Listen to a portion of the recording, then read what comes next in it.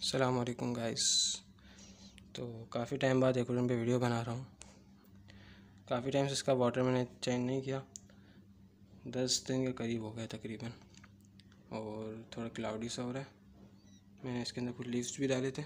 Snell's बहुत शौक से खाते हैं और श्रेम्स वगैरह भी खा लेते हैं इसे। देख सकते हैं आप कितने सारे बच्चे हैं स्नेल्स के। ये रेमस्टोन स्नेल के बच्चे हैं। फोकस और ये जो कॉर्न शेप के ना, ये मलेशियन ट्रम्पेट के बच्चे बड़े भी घूम रहे रमशोन ये बिल्लू वाला भी एक है। और बाकी स्पॉट में मैंने ये लगाए पर्लविड और देखें वो श्रिम बैठा हुआ एक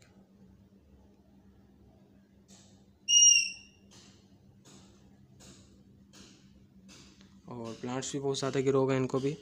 कट करके रीग्रो करना है, दोबारा से लगाना है। ये आपके सामने है।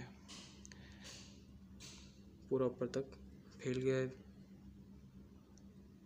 गपी ग्रास है और हॉर्नवर्ड भी बहुत बड़ा हो गया। तो फिर अभी पहले प्लांट्स को काटते हैं और फिर इनको लगाते हैं। फिर आपको वाटर चेंज करके दिखाता हूँ। सबसे पहले तो जो एवोपरेट हो गया ना पानी, सबसे पहले इसको फिल करना पड़ेगा। ताकि न्यूट्रिशंस और जो भी एलिमेंट्स होते हैं। मतलब पानी ज़्यादा हार्ड ना हो। इसलिए पहले इसको फिल करेंगे, फिर एम्प्टी करेंगे हाफ़ वाटर फिर दोबारा से डाल देंगे पानी, नया पानी।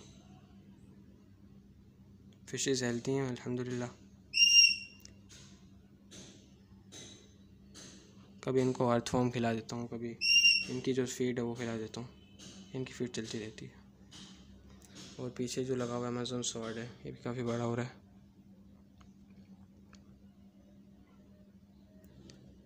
ठीक है, मैं पानी चेंज करता हूँ अभी। तो गाइस गप्पी ग्रास तो काट लिए। इतने सारा देखें, ये पूरा बंचेड और यहाँ से कट किए थे। अब इनको बंचेस बनाकर यहीं पर रिग्रो करेंगे हम। फिर इसके बाद हॉर्नवर्ड वगैरह देखेंगे, वो भी काटना। अभी इनके बंचेस बनाकर यहाँ लगाता हूँ, यहाँ पर, फिर मैं आपको दिखाता हूँ। तो गाइस गप्पी ग्रास मैंने यहाँ पर लगा दिए जो भी थे। और बाकी कुछ छोटे छोटे रह गए टूट गए इनको निकाल दूँगा मैं। और बाकी पीछे जो सेसी फ्लोर है ना, ये भी बहुत लंबी स्टेम हो गई, इसको भी हाफ़ कट कर दूँगा। और अब हॉर्नवर्ड को कट करता हूँ और इनको भी लगाता हूँ। स्टे कनेक्टेड तो गाइस हॉर्नवर्ड्स भी कट कर लिए।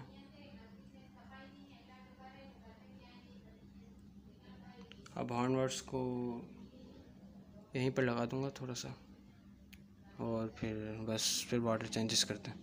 तो गाइस ये देख सकते हैं आप हॉर्नवर्ड भी मैंने लगा दिए अभी फिर ये रह गया सेसिफ्लोरा और इसकी जो एक स्टेम है, ये काटनी है और दूसरी भी शायद काट देता हूँ मैं।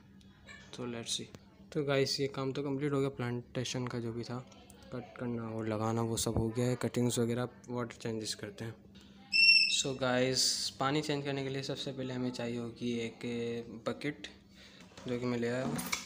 और दूसरा है मेरे पास नोज़ल जो छोटा वाला पाइप होता है हमारे पास।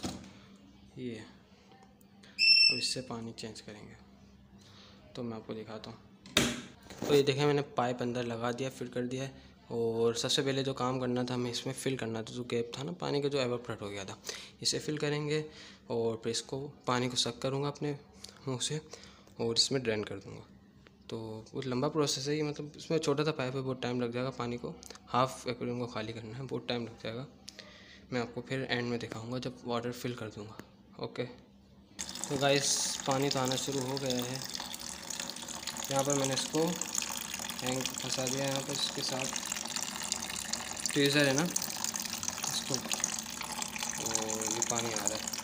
इसको काफ़ी टाइम लगेगा, बाल्टी को, बकेट को भरने में फिर जब भर जाएगी तो मैं आपको दिखा दूँगा। ये देखें फिशेस इसके अंदर तकरीबन पहले पाँच कलर थे। एक तो चार तो आपके सामने, और एक था लाइट ब्लू कलर एक लाइट ब्लू कलर था। वो बहुत लॉन्ग फिन वाली फ़िश थी। वो शायद मैंने रील्स में डाली होगी शॉर्ट्स वीडियोज़ में। मगर उसके साथ ये हुआ कि उसके लॉन्ग फिन्स से वो ज़्यादा भाग नहीं सकती थी। और ये वाली फ़िशेज़ होती हैं, ये टेट्रा वीडो टेट्रा वगैरह, ये एग्रेसिव होती हैं। तो उसके जो फिन्स थे, उसको निकलती रहती थी वो। तो उसकी जो दुम थी, जिसकी टैल थी, उसको पूरा खा गई और आस्ते आस्ते उसको फंगस लग गया, वो मर गई। तो अभी मेरे पास चार कलर रह गए हैं फाइव फिफ्थ जो कलर था पाँचों वो मर गया। तो गाइस वाटर ड्रेन कर दिया है। ऑलमोस्ट हाफ़ से ज़्यादा पानी मैंने बकेट में डाल दिया। ये देखें, पानी येलो हो रहा है ग्रीनिश हो रहा है थोड़ा सा। मतलब इसके अंदर अमोनिया वगैरह नाइट्रो वगैरह हाई हो गए थे। तो अभी इसको वाटर को चेंज करते हैं। मतलब ड्रेन तो कर दिया, अपने आप वाटर डालते हैं इसके अंदर, फिर मैं आपको दिखाता हूँ। तो गाइस वाटर मैंने चेंज करके नया वाटर ऐड कर दिया है।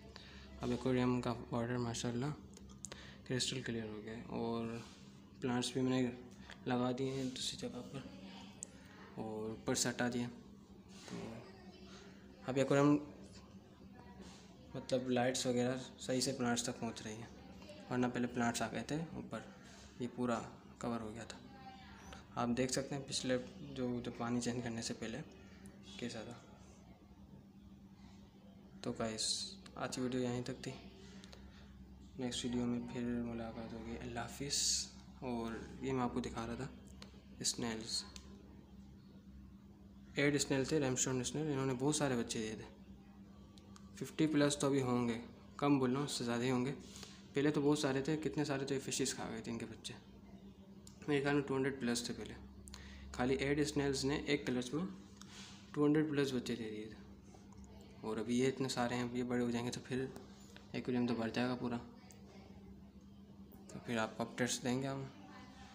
ओके गाइस अल्लाह हाफिज़।